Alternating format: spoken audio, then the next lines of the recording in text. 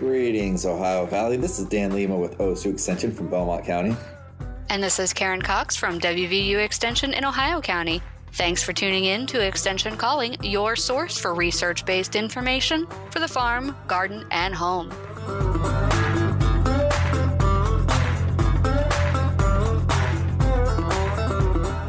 Before we get started today, I have something very important to talk about, and that is the COVID 19 vaccine. COVID 19 vaccines have been safely administered to hundreds of millions of Americans, including myself. COVID 19 vaccination greatly reduces the risk of severe illness, hospitalization, and even death. The nation's top medical and healthcare experts agree that COVID 19 vaccines are our strongest tool to help stop the pandemic. So learn more at vaccinate.wv.gov or call 1 833 793 0965. Again, that's 1 833 793 0965. And please, get vaccinated. Dan is away on military leave right now, so we're going to bring back some of our previous shows that didn't make it to the podcast. We hope that you enjoy them. As always, we welcome your feedback.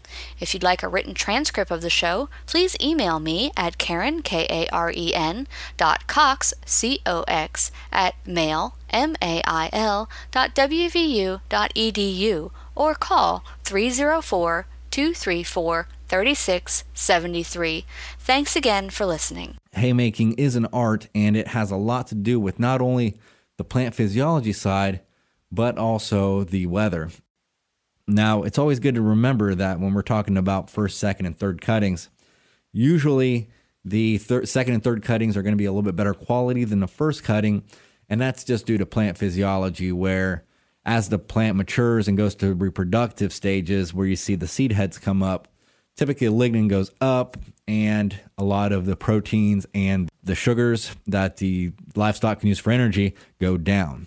And that kind of gets transitioned to fiber as it matures but that typically happens early in the season. So as we go down, or as we get to higher and higher cuttings, second, third, and maybe even fourth cuttings, uh, quality typically goes up. But let's not forget that as soon as you cut, the hay needs to dry a little bit before you, you bale it up. So if you get the rain early on when the grass is still wet, there's not a huge loss there. But if the if the grass sits there for two or three days and then it rains on it and it brings that moisture level up, as it's curing, that's where the problems occur typically.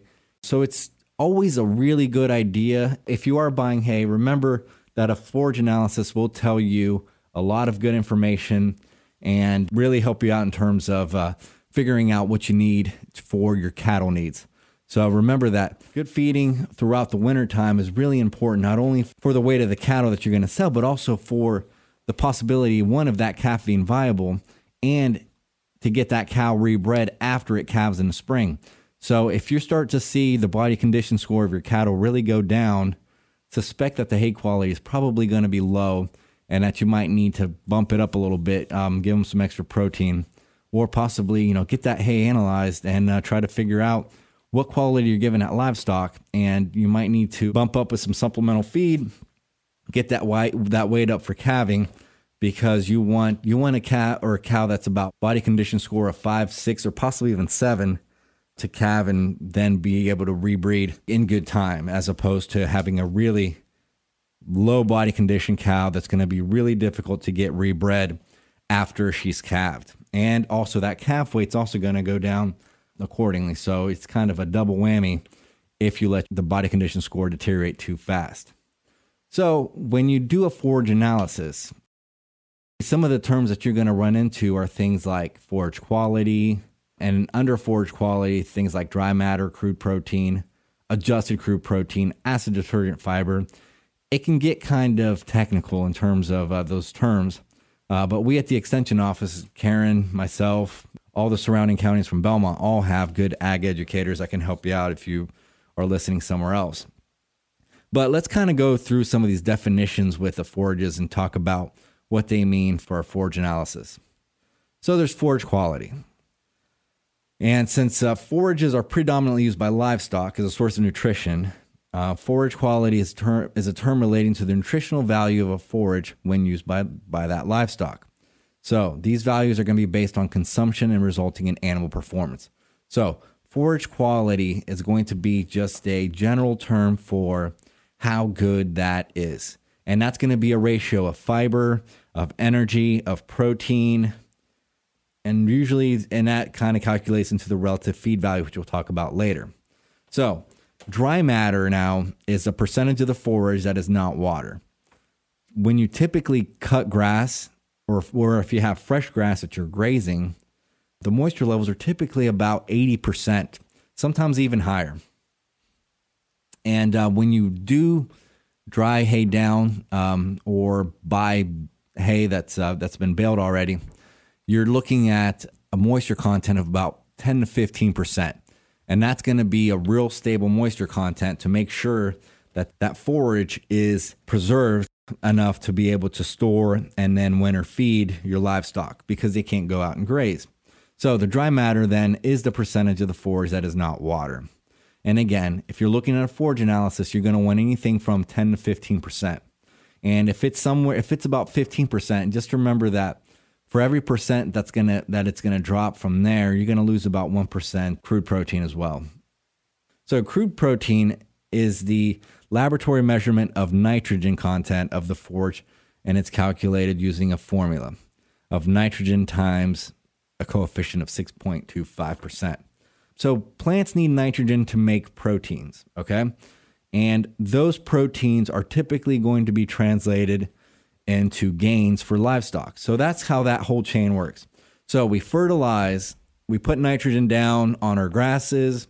The grasses are typically going to be higher quality, they're going to be bigger.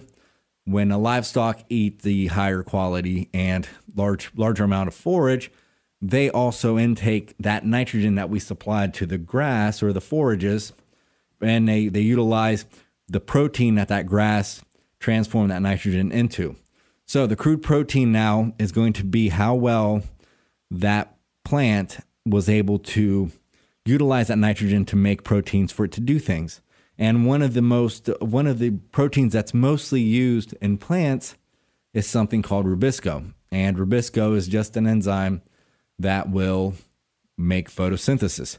So, what happens when you fertilize in general? Everything turns bright green. So that dark green color is it's a rough indicator of the quality of the forage that you see as well. Um, it's not 100%, but uh, typically when you do fertilize, you do see a darker green, which can be translated into a higher protein level.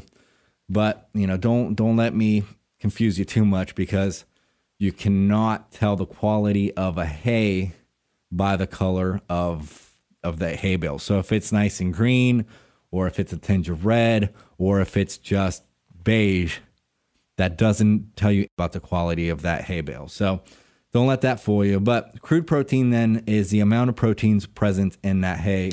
Um, and typically, if you want, if you are, if you want to increase the crude protein of your hay, you would have fertilized earlier in the season. And that's how that kind of translates through. But um, crude protein will include both the true protein and also the non indicated uh, heat damage protein that may alter the protein availability. So there's something called the adjusted crude protein that people often overlook. And the adjusted crude protein is the amount of protein remaining for use after the animal has uh, subtracted the indigestible protein from that heat damage. So remember, as you're curing hay, heat is produced, and that heat can not only make you lose dry matter, but it also can make you lose protein as well. So when you're looking at, if you're looking at just crude protein, you could be fooled. So always look and see if there's an adjusted crude protein value. If not, crude protein is still pretty accurate as long as that hay didn't have any excessive heating. Um, and then there's the acid detergent fiber. Antiacid detergent fiber is an indicator of digestibility. Uh, the value refers to the cell wall portions of the forage that are made of cellulose and lignin. Now, um, lignin, I like to think of lignin as cement and think of cellulose as uh, rebar.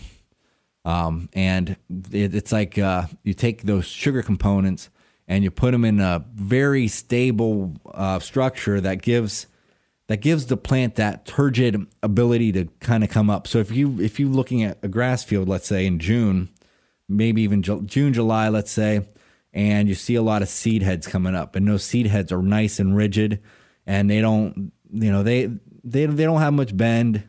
Um, as the wind, if the wind blows, they just kind of they all move together, nice and rigid. That's lignin, and that's really not digestible. So if you're so that's why typically the first cutting isn't going to be as high quality because it has a lot more acid detergent fiber, which is those cellulose and lignin. So these values are going to be important because they reflect the, the ability of the animal to digest the forage. So the animal has to be able to get those proteins and get those sugars, even if it has the rumen and the rumen has the um, the ruminant bacteria that help break it down, um, and it can do a lot more than we can there is limitations in terms of that lignin itself. So that lignin is very hard to break down, and if that lignin content goes too high, then the fiber content is going to be really high, and that animal's not going to be able to get one all those proteins, and two all those sugars that are going to be important for the animal growth or weight gain, depending on weight gain and growth. Actually, is are they're both important. Uh, growth for the calf and weight gain for the cow. And as the ADF increases, digestibility of the forage decreases, um, along with energy, because you're binding up those sugars. Now, there's also neutral detergent fiber, and this is the value of the total cell wall, which is comprised of the acid detergent fiber and the hemicellulose. And these values are going to be important in the ration formula because they're going to reflect the amount of forage that the animal can consume. So, the ADF gives you the fiber content, but the NDF is going to be is going to limit how much of that forage the animal can intake. So, um, one thing that these notes kind of remind me of is, you know, we always use the three percent rule in terms of dry matter for an animal intake, right? So, if you have a one thousand pound cow, typically it's going to t- it's going to eat up like thirty pounds of food. Well, 30 pounds of good forage.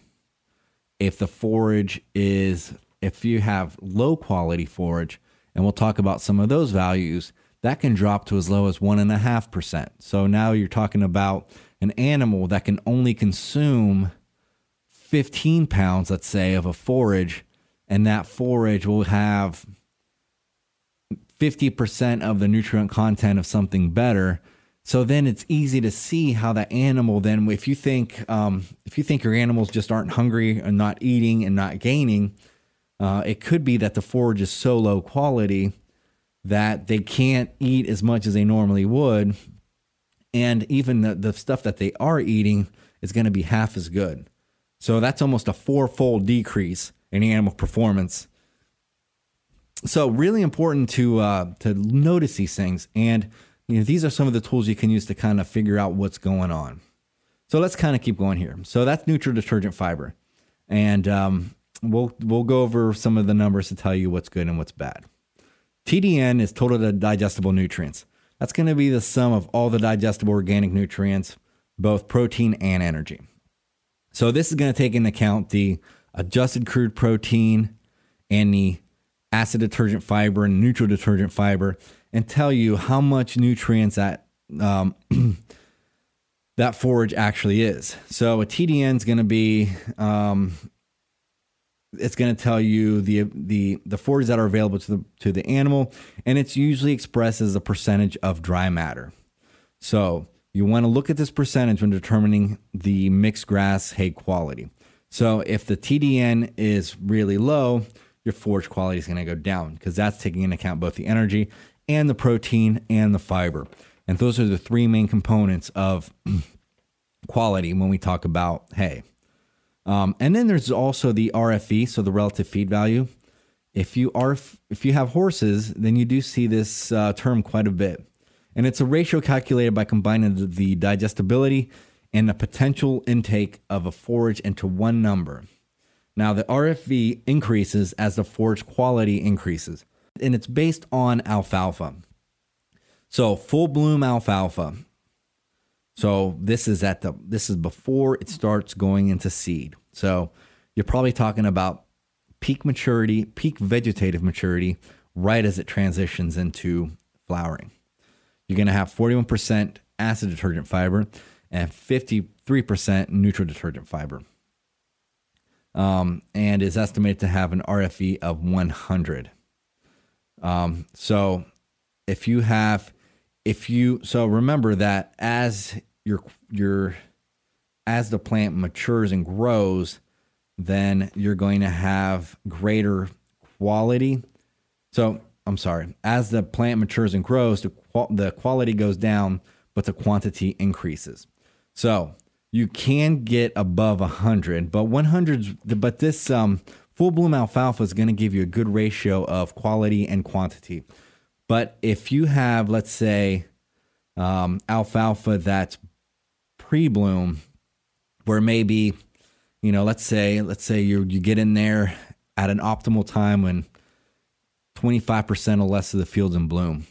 So you have a lot of good vegetative alfalfa that's going to be at the highest quality right there, right before it drops. Um, and um, you can you so you can get up to 150 relative feed value, and that's usually 150 is probably going to be the best. So the the 100 the relative feed value of 100 is based on full bloom alfalfa, and it can go lower if you pass full bloom, and you can go higher if you go before that full bloom stage.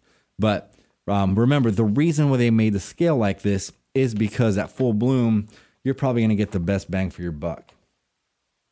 All right, so let's. Um, so now that we kind of know some of these terms, let's talk about uh, what what is um, what is good, well, low, medium, and good hay. All right.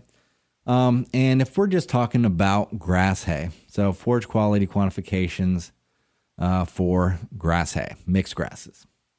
Um, if you have a crude protein, so in this in this schematic that I'm looking at, it doesn't give you the adjusted crude protein. It just gives you the crude protein, which again, if you don't suspect anything in terms of uh, the preparation for the hay, in terms of difficulties, um, whether it rained, whether it was baled too wet, whether it heated up too much, things like that, um, you're going to really want to look at adjusted crude protein. But let's just say, you know, you had really good luck in baling hay and uh, you did things and there was no real complications. So let's just assume that's the case and you're looking at analysis that doesn't give you adjusted crude protein. Um, so in this case, a low quality hay would have 5% or lower crude protein. Crude protein. Um, a medium hay, you're looking at 9% and good, 12% and up. Um, and remember that you're going to have different livestock needs at different times. So, um, right, um, so remember that right before calving and during lactation, you're going to make you want to make sure your cows are getting good hay. Um, if you suspect that uh, your cows are really losing weight in the wintertime, and by spring they're going to calve at a low uh, a low body condition score, you might want to really invest in some good hay to make sure that cow one drops a nice healthy cow and is able to get, make produce enough milk to sustain that calf and have that calf gain some weight real quick. Also, that's really important because again, that body condition score of five, six, or seven is going to be really essential in making sure that you can rebreed that cow early in the spring. Um, so, all right, so let's look at TDN now, which is total digestible nutrients. And that's going to be, remember, that's a good indicator of ad- adjusted crude protein, fiber, and energy. Uh, so 45% is low, 50% is medium, and 55% and up is good. What you'll notice is that you can't have a TDN that's really good if your proteins are going to be low. Um, so it the TDN just gives you more information on energy. Some people will strictly go on proteins alone, but the more information you have, the better off you are. Um, and so, what, what I was referring to earlier about the neutral detergent fiber and that being a determinant of how much that cow can intake um, is uh, is like this. So if you have a low quality hay of five percent with a TDN of forty five percent, that cow is not going to eat one to three percent. It's going to eat one point seven five percent medium, 2%, good, two and a half to three percent even, um, and that's and that's how you want to kind of gauge. Um, that's a again, that's another good tool you can use to make sure that uh, your cows are having that. Other than body condition score, which is the best indicator that there is, how much they're eating of the hay that you're giving them is also an indicator of the quality of hay that you're giving them. So you have several ways to, to start figuring out whether you should um, change hay, maybe supplemental feed, maybe get it analyzed and try to figure things out. but with the low quality hay versus a good quality hay, you can easily have a one one to two percent differential in terms of intake of that livestock. Um, when you're looking at pounds of crude protein, if you have good, if you have a crude protein percentage of 12%, you're probably feeding about 3.25 or three and a half pounds of protein. Um, so let's say you want to get up. So if you have medium hay, uh, but you have livestock that are really necessitating that higher quality forage, what you could do is you could actually feed some grains and bump that so if you have a 9% crude protein, 50% TDN, so you're feeding roughly about two pounds of protein just in that forage alone.